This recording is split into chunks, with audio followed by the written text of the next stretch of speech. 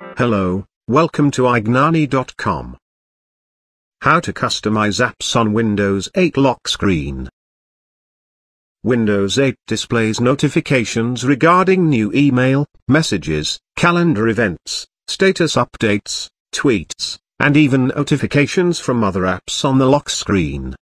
If you want a quick glance of the information, it's right there for you. And you don't even have to log into Windows 8. Apps added to the lock screen are allowed to run in the background when your PC is locked, so they can fetch information and display it on the lock screen. If all your apps start to display notification on the lock screen, it may become difficult for to get what is important. You may just want to see notifications regarding email, messages and social networking sites, but might not be interested to see the current weather, or information from an app. Customizing the lock screen as per your preference, is what I will be showing you in this video. Most of the lock screen customization can be done from PC settings. You can access PC settings in a variety of ways. Either move your mouse cursor to the top right corner of the screen as you see here. Or press, Windows key plus C, to display the charms bar, and then select, Settings. You can skip going to the general charms bar by pressing, Windows key plus I, which will directly display the settings charm as you can see. Now select, Change PC settings, Personalize, and Lock Screen. There is also a shortcut to directly access the lock screen settings.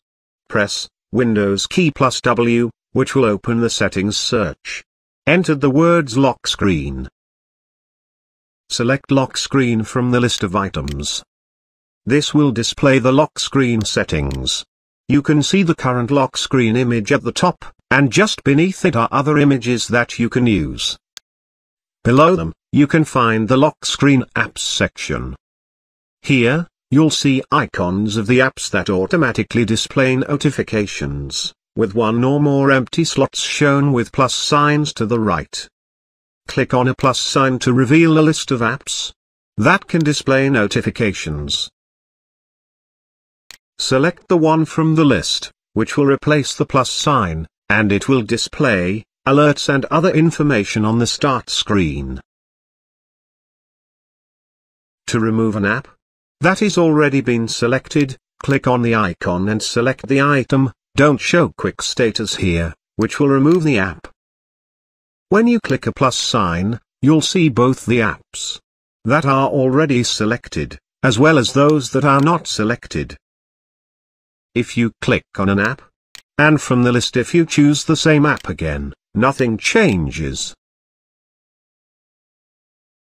But if you select another app, the current one gets replaced with the newly selected app. Below the quick list apps, you can also choose an app to show more detailed status. But this list does not contain all the items that are present in the quick status list. But, selecting them is same as the quick list. Click on the icon and select an item from the list. Notice that when you select an item from the detailed status list, it also gets selected in the quick list. To remove, select the option Don't show detailed status on the lock screen. That's it about customizing the apps on the lock screen. You can find a lot of free video tutorials, training materials, how-to videos, and much much more at our site www.ignani.com. Post all your questions at our site. We will be happy to help you. We want your learning process to be as interactive as possible. Feel free to contact us.